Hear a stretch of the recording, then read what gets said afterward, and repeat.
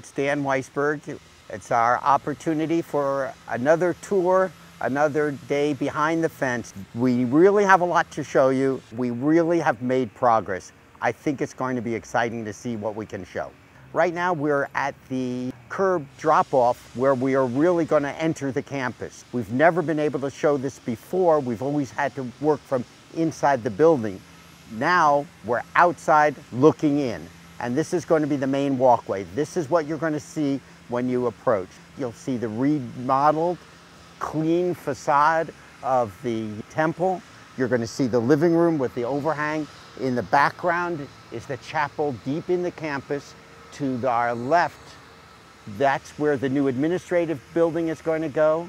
And to the left of the administrative building where we now have a very large open hole from the donut portion that's been removed, you're going to see into the rotunda where the school is.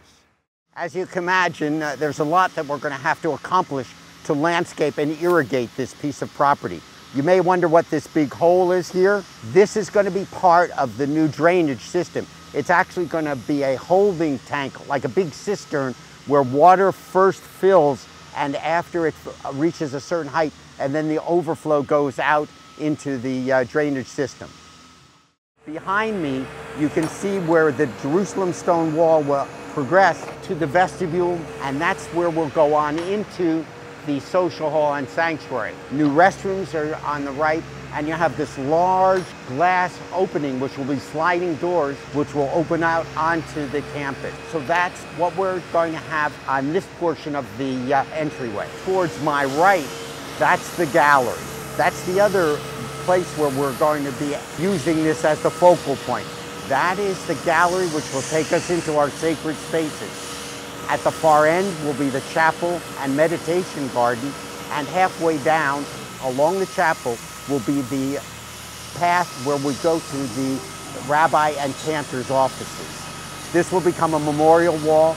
This will be a more sacred space for us as we go deeper into the campus. Notice right here as we enter, on the right, we will have the new gift shop.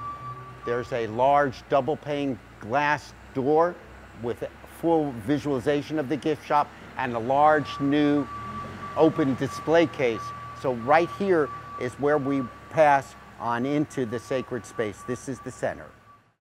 As we pass through the gallery along the uh, memorial wall, we'll come out to this open glass space and you'll see the meditation garden behind me.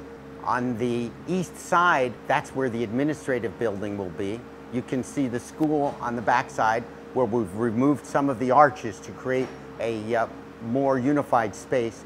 And if we go further along on the gallery in the other direction toward the west, we'll enter for the uh, clergy's offices and further on to the chapel. Now we're at the entrance to the chapel. Behind me, you can see the structure really taking shape. Now that the uh, plywood is up, you can see the thick walls, you can see the support, and you can see the towering ceiling above. This will easily hold 70 to 80 to 100 people. This is going to be a jewel. This is where we're going to be able to have really special, sacred types of the events. And God said, let there be light. SCE cooperated and here for the first time as we walk down this back corridor, we have lights. Notice what we can see. We have a rabbi's office that's lighted. We have a cantor's office that's lighted. And when we get to the library and boardroom, you'll see it's all lighted and looks terrific. This is the library, and as you can see, there are new fixtures and indirect and direct light above, and you can see that the uh, bookcases are going in. They'll be on the wall. And on the far wall, we have a credenza and a big screen TV, which will all be used for uh, purposes of teaching, study, and all that can be uh, accomplished in a library. This is our new boardroom.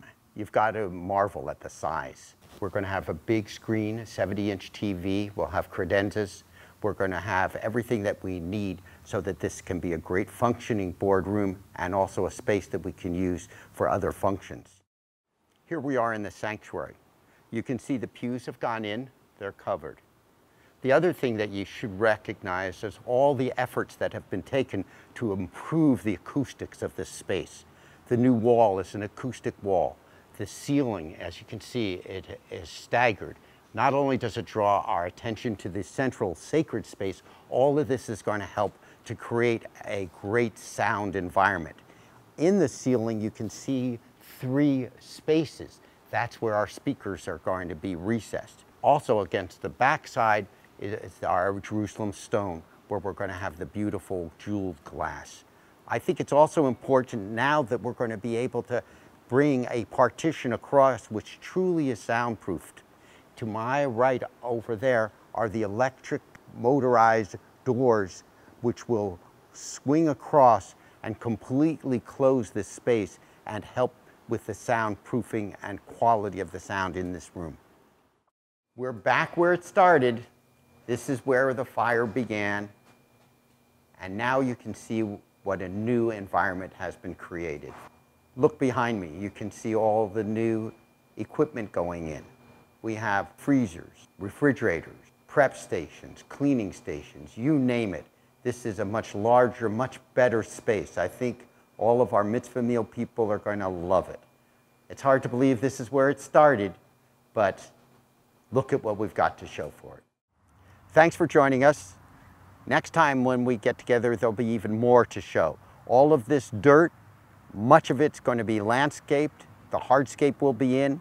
Within the next few weeks, we actually are going to be in the social hall and sanctuary.